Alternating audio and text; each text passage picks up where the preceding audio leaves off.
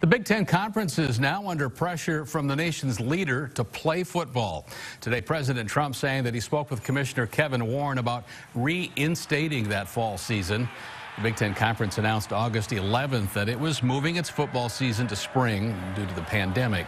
However, President Trump is hopeful that the Big Ten Conference season may get underway soon.